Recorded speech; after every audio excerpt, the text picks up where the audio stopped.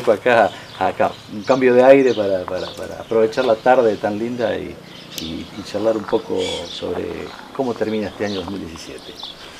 Bueno, creo que el balance fue muy positivo porque si bien eh, nos quedaron cosas por, concretar en lo material, eh, creo que los proyectos, tenemos muchos proyectos muy importantes y aprobados que, bueno, se van a materializar eh, en los próximos años. ¿no? Eso es un poco eh, el trabajo que, se vino haciendo en estos dos, de estos dos años, que, bueno, que fueron los que logramos eso, ¿no? concretar la aprobación de los proyectos, como en el caso de, las viviendas, bueno, continuar con, con los proyectos que llevamos adelante en acción social, en medio ambiente, lo bueno, el proyecto este de biogás.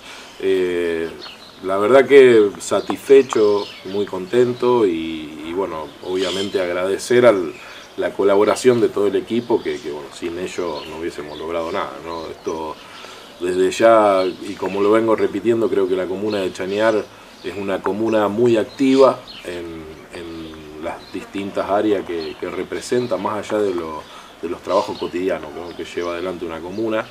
Eh, nos hicimos cargo de medio ambiente, de acción social, un poco de seguridad, eh, bueno, ahora como decía, vivienda y bueno, programando ya lo que por ahí se prometió ahora para la campaña, que es atacar un poco el tema de, de la pavimentación, que es una solución, digamos, definitiva al problema que, tenemos en nuestra zona a raíz de, de lo que es la napa, la, la altura que está, que no tenemos suelo, que todo lo que tiremos en la tierra, la tierra se lo traga. Eh, y, bueno, la inversión que esto hace, llevar adelante el mantenimiento del ripiado, ¿no? que, se fue, los precios se fueron a las nubes y eso hace que cueste mucho más mantener una calle de ripio. La idea es atacar eso y bueno, creemos que hay muchas muy buenas perspectivas para, poder concretar eh, esta promesa ¿no? que, se hizo.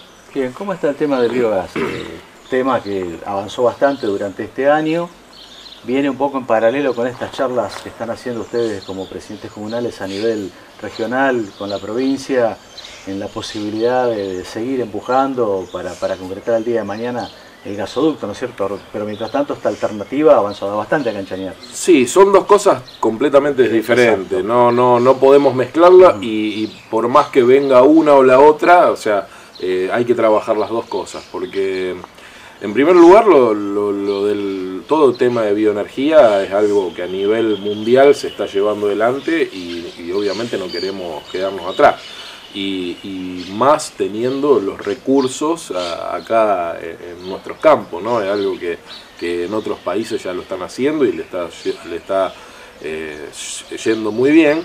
Eh, nada más que bueno, nosotros acá se planteó primero la posibilidad de, distribuirlo por red por la necesidad social que tenemos en estos momentos de, no tener gas natural. Eh, pero si llegase a venir el gas natural, esto ya se, se puede revertir y generar electricidad con el biogás eh, es la forma más, eh, digamos, rentablemente económica favorable que, es producir corriente más que consumirlo como gas en sí. El tema del gas natural, estuvimos participando en todas las reuniones que se llevaron adelante, una que se hizo en Buenos Aires, la otra se hizo en Rufino y la última se hizo en Venado con la Secretaría de Energía. Creo que es lo que en donde tenemos que trabajar nosotros los presidentes comunales y por ahí senadores es en esto, en, apoyar estas estas iniciativas, eh, que aprovechar este, este viento de cola que se está teniendo que con la participación de todos los, presidentes comunales del sur de la provincia de Santa Fe e intendentes. Eh, pero bueno, es algo que está un poco más lejos, porque en la última reunión eh, que, donde participó la Secretaría de Energía, en, la cual manifestó estar un poco descolocada sobre este tema, donde no, tenía idea de, de, qué se venía planteando, pero bueno, ya empezar a reunirme para, para trabajar, y donde también estaba la gente del Litoral Gas, donde, eh, digamos, aparentemente, por la suba que tuvo el gas natural eh, en todo el país, eh, bueno, esto genera de que la empresa, como es una empresa privada, tenga fondos para poder invertir. Lo que ellos plantean es que van a hacer una inversión de 2.000 1.800 millones de pesos eh, en, este, en este quinquenio. Es la inversión que se va a generar en la provincia de Santa Fe. Mi pregunta en esa reunión fue si de esos fondos iba a entrar algo en, en, lo que es el proyecto que a nosotros nos toca y bueno, lamentablemente la respuesta dijeron que no. O sea que son cinco años que si no viene el dinero de otro lado, no lo vamos a tener en cinco años seguro. Claro. Ni siquiera el inicio de la obra o, un proyecto ejecutivo, porque lo que hay ahora es un anteproyecto. Eh, así que bueno, por eso es para nosotros contarle a la gente que vamos, participamos en las reuniones, empujamos, presionamos, buscamos todas las alternativas pero que no hay nada concreto en estos momentos, por lo menos por los próximos cinco años, eh, de acá en adelante. Eh, pero bueno, vamos a seguir insistiendo y, bueno, la idea no es ilusionar a nadie. No, seguro, mientras tanto el, el, gas, eh, este, energía renovable está bastante avanzado. Sí, sí, lo que es el, tema de biogás, bueno, nosotros ahora ya se va a alargar el proyecto ejecutivo a la venta, ya tenemos el dinero, que es lo más importante para poder pagarlo. Es un proyecto muy complicado porque no tenemos gente nosotros en la comuna capacitada para llevar adelante eh, el armado de un pliego de semejante envergadura, por eso estamos recurriendo a los técnicos e ingenieros de la provincia, que son por ahí los que más saben, como para hacer un pliego, digamos, como corresponde y que después no nos vendan cualquier cosa. Eso es la única demora que tenemos, estamos haciendo algunas correcciones y yo calculo que a mediados de enero se va a estar largando la venta porque bueno, también nos están presionando en la provincia que lo tenemos que, sacar para poder rendir ya el dinero que nos dieron. Es un avance importante y bueno, yo calculo que en el próximo año lo vamos a tener el proyecto ejecutivo, ¿no? Para poder empezar a trabajar. Bueno, otra medida concreta era el plan de viviendas, o sea, ¿cómo se avanzó sobre esto? ¿Cómo está? Bueno, el, plan de viviendas eh, lo, tenemos dos, dos, tipos, uno es lote propio y el otro son las 22 viviendas tipo Fonavi o tipo barrio como se, hacía antes. Eh, se hizo la apertura de sobres en el mes de septiembre acá en nuestra localidad, donde participaron alrededor de cinco eh, oferentes, que son las empresas constructoras.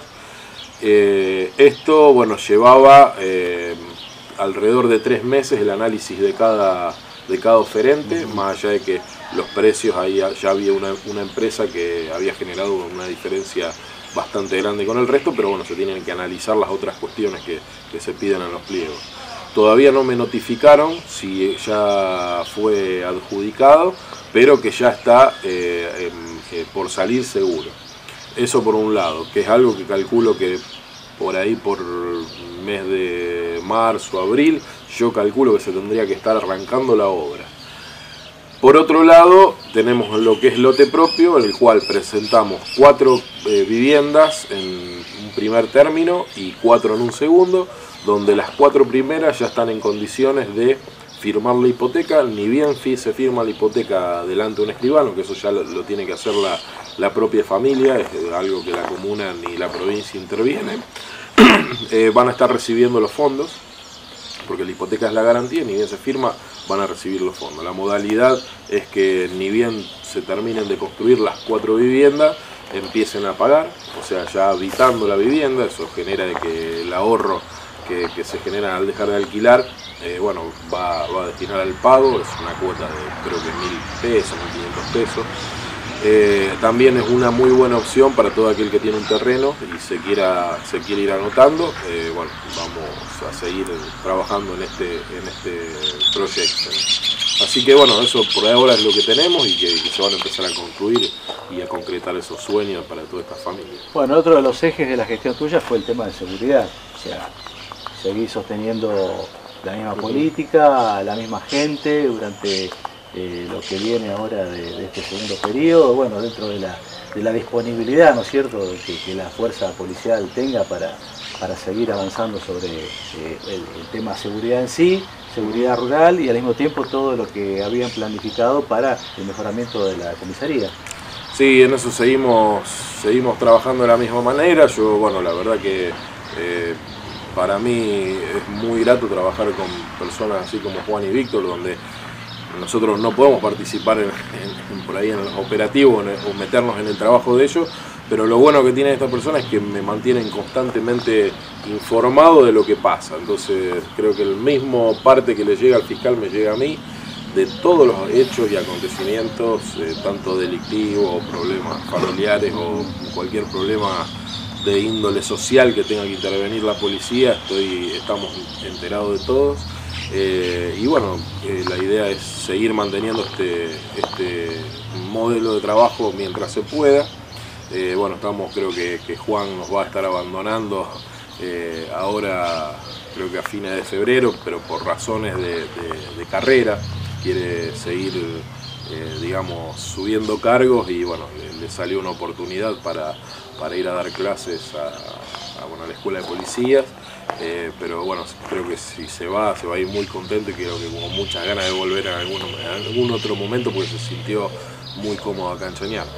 Eh, el tema de seguridad, como siempre decimos, es un tema muy complicado porque bueno, entran a jugar varios, varios aspectos, ¿no? Hay eh, delitos que, que están relacionados con una cosa, delitos que están relacionados con otra pero bueno, por lo menos logramos eh, disminuir eh, esa cantidad de robos que tuvimos en una época, por allá por, el año 2015, eh, que, fue un año bastante duro para nosotros y bueno, logramos con la ayuda de, la policía disminuir esos, índices de delitos. así que bueno, otra cosa también que para nosotros fue muy bueno para nuestra gestión. Bueno, la casita va a funcionar todo el verano, o sea, no, no, cierra. ¿Cómo, ¿Cómo, va a estar un poco...? La, la casita, bueno, en la parte de centro de día sí va a cerrar, va a cerrar por 15 días y bueno, el resto no, pero lo que es el funcionamiento de hogar no. Eh, así que bueno, sí, 15 días calculo que se van a tomar vacaciones para, para el personal y después, bueno, reactivar todo, pero va a seguir eh, trabajando normal, como siempre. Eh, bueno, estamos trabajando, ahora trasladamos la granja acá a la, planta de tratamiento, donde bueno, están viniendo los chicos acá, la verdad que muy contento, por un lugar hacia el aire libre, que te despeja, que, bueno, se le puede enseñar a los chicos otro tipo de, cosas, como bueno, se le están haciendo con la huerta, siguen criando los pollos, tienen las ponedoras. Lo bueno, estuvimos hablando justamente ayer con Lavero de que por ahí las cosas que se generan que genera la granja, por ahí lo usamos con canje en, mercaditos, en, el otro día bueno le regalamos remera o ropa a los chicos y, fueron todas cosas que, se salió de ahí, o sea que la comuna no, no, no puso un peso para, generar todo eso. Ahí, lo mismo la comida, lo que se le da es, cosas que se generan de ahí, la verdad que también muy contento y, y muy, muy feliz que ese proyecto bueno, funcione como, como se planeó. Bueno, próxima nota la haremos en la granja, cuando retomemos, ¿eh? para, mostrar un poco a la gente, ¿no es cierto?, toda la actividad que se está haciendo. Bueno, cerramos el año, Matías, eh, un poco los deseos a la gente, a la, región. Eh, no, bueno, yo creo que estamos con las mismas ganas desde el principio de seguir trabajando para, para el pueblo, con algunas renovaciones, obviamente en un cambio de gestión, por más que sean los mismos lineamientos, hay algún tipo de cambio, lo que queremos tratar de acomodar. Eh, y bueno, con muchos proyectos para, nuestro chañar y pedirle a toda la, población que, colabore con nosotros, que, todas las críticas que se hagan, que sean críticas constructivas para poder seguir siendo un pueblo líder acá en la zona en, en todo aspecto. Eh, así que bueno, un saludo a todos, desearles un muy buen comienzo de este 2018 eh, y un muy buen final de 2017 también. Eh, así que bueno, tratar de, pasarlo en paz y, que, tengamos trabajo, salud y, y paz para todo el mundo. Muchas gracias.